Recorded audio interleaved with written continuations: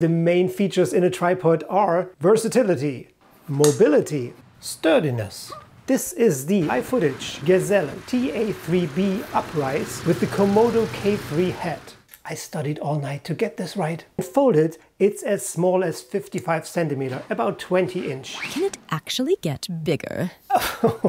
oh yes, it gets bigger.